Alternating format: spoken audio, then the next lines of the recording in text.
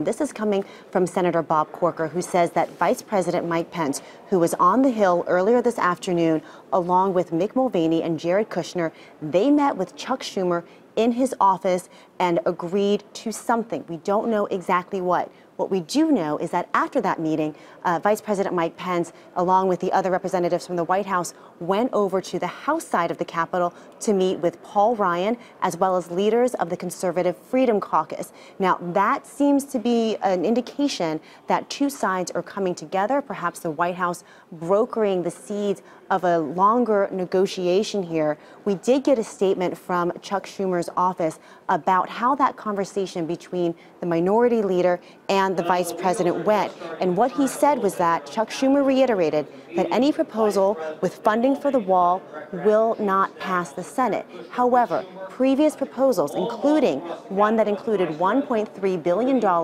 for border security funding, that is still on the table. That could perhaps provide a point of negotiation for these discussions going forward. But right now, where we are in the Senate is that they are still stuck on a procedural vote in order to move forward on this bill that would have $5 billion for the border wall, keep the government open, everyone knows that that bill is not going anywhere. That bill is destined to fail. So the conversation is turning to is there a way out of this? If not tonight, before midnight, in the next few days, perhaps even before Christmas, or at least before January 3rd when the new Congress uh, takes session, guys. So a lot of moving parts here on Capitol Hill. We will keep you posted on the latest. But right now, inklings of a deal. Back over to you. So, Ylan, in order for the hope of a deal to even be there, does it have to include um, border funding in some way, maybe not for a wall? I mean, is that what you're sort of driving at?